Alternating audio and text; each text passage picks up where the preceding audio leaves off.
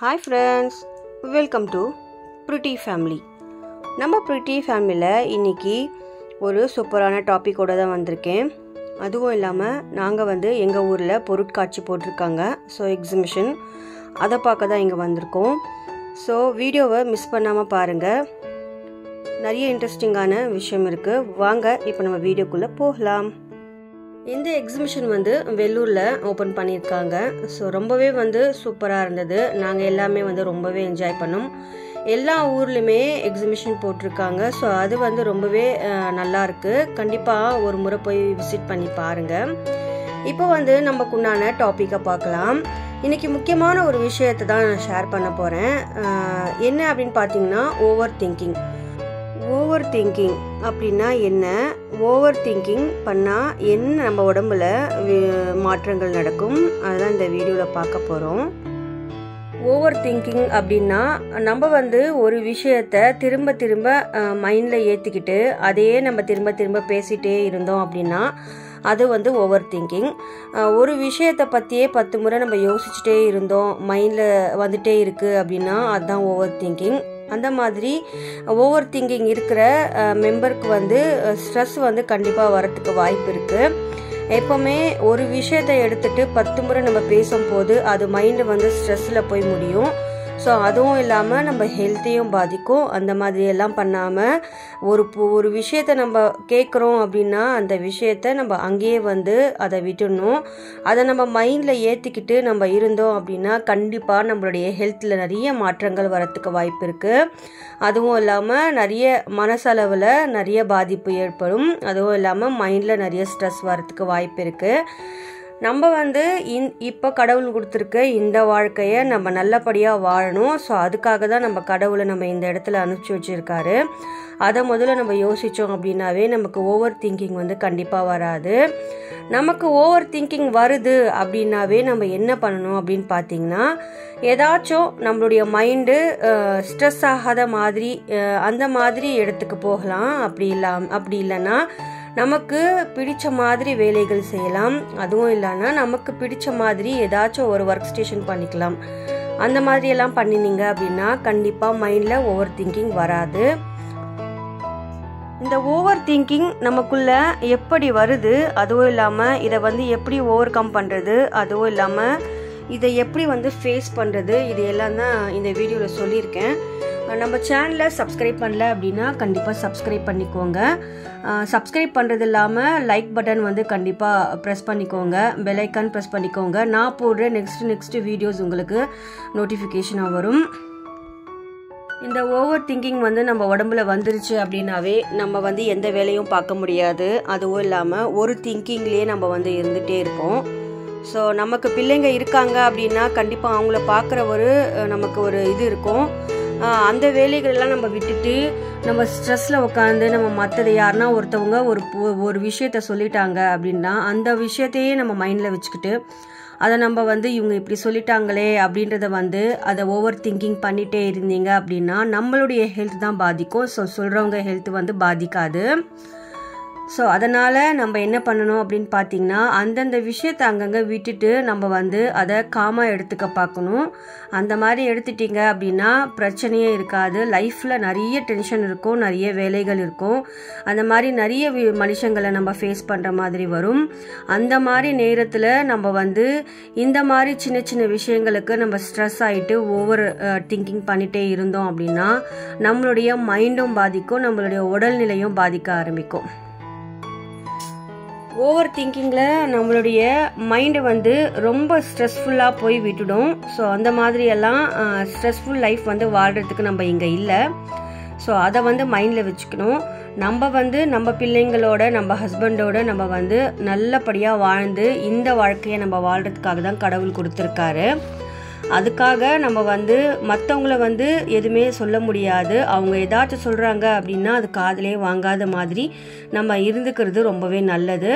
So அந்த இடத்துல வந்து நம்ம எதிரில் இருக்கிறவங்க என்ன பேசுகிறாங்க அதுக்கு நம்ம பதில் சொல்லிட்டே இருந்தோம்னா நம்மளுடைய எனர்ஜி வந்து ரொம்ப வேஸ்ட் ஆகிடும் ஸோ அந்த மாதிரியெல்லாம் பண்ணாமல் நமக்கு என்ன தேவைப்படுற வார்த்தைகள் நமக்கு வேணுமோ அதை மட்டும் நம்ம பேசிட்டு நமக்கு தேவை உள்ள- இல்லாத வார்த்தைகளை காதில் வாங்கவே கூடாது.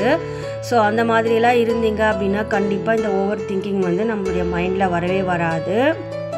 ஏதாச்சும் ஒரு விஷயம் நம்மளுடைய லைஃப்பில் நம்ம மைண்டை பாதிக்கிற மாதிரி நடந்துருந்துருச்சு அப்படின்னா அதை பற்றியே நம்ம சிந்திக்க ஆரம்பிக்கிறது. இந்த மாதிரியான காரணங்களுக்காக தான் நம்ம ஓவர் திங்கிங் வந்து மைண்டில் வருது. இந்த ஓவர் திங்கிங்ன்றது பாசிட்டிவ் வேவிலும் வரலாம் நெகட்டிவ் வேவிலும் வரலாம். அதுக்காக தான் நம்ம ஒரு விஷயத்த மைண்டில் போட்டுக்கிட்டு அதையே நம்ம நினச்சிக்கிட்டே இருந்தோம் அப்படின்னா வாழ்க்கை ஃபுல்லாக நம்மளுடைய லைஃப் வந்து ஸ்ட்ரெஸ்ஃபுல்லாகவே இருக்கும்.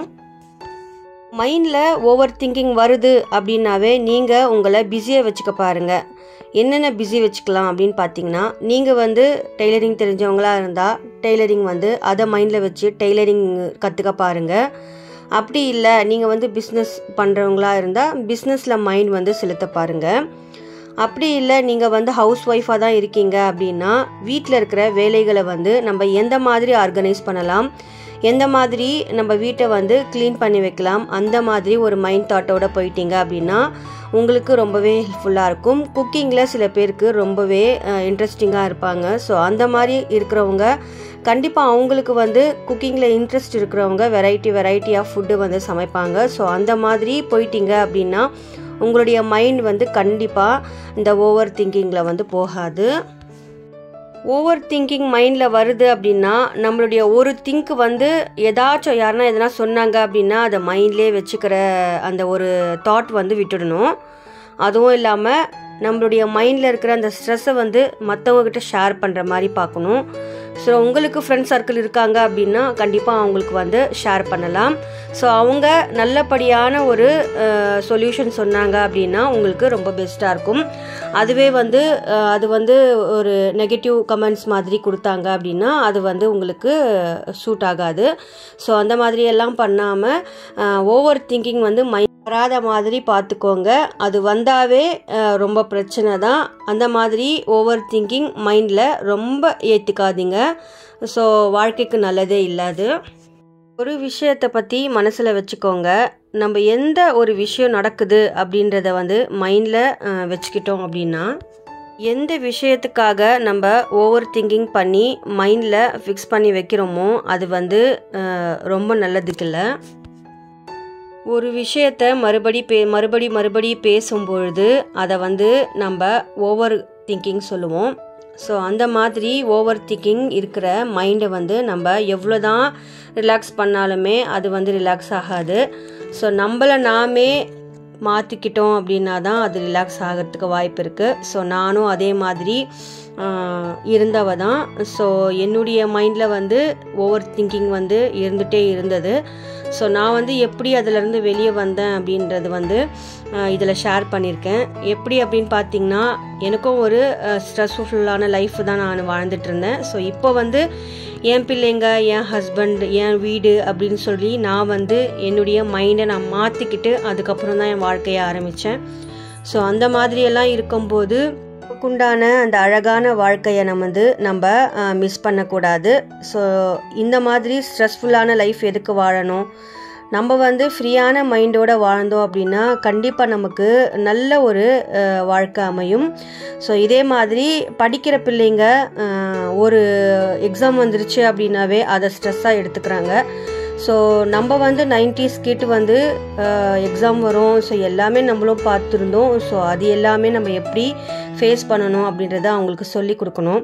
ஸோ இப்போ இருக்கிற பசங்க வந்து கொஞ்சம் படிப்பில் வந்து ரொம்ப ஸ்ட்ரெஸ் வாங்குறாங்க. ஸோ அந்த மாதிரியெல்லாம் வாங்காமல் இருக்கணும் அப்படின்னா நம்ம நைன்டிஸ் கிட்ட எவ்வளோ ஃப்ரீயாக இருந்தோம். ஸோ இப்போ இருக்கிற பிள்ளைங்க வந்து ரொம்ப ஸ்ட்ரெஸ்ஸோடு படிக்கிறாங்க. ஸோ அந்த மாதிரிலாம் இல்லாமல் ஒரு பொருளை மைண்டில் வச்சுக்கிட்டு அதையே வந்து திரும்ப திரும்ப பேசிகிட்டே இருக்கிறதுனால நமக்கு நல்லது நடக்க போகிறது கிடையாது.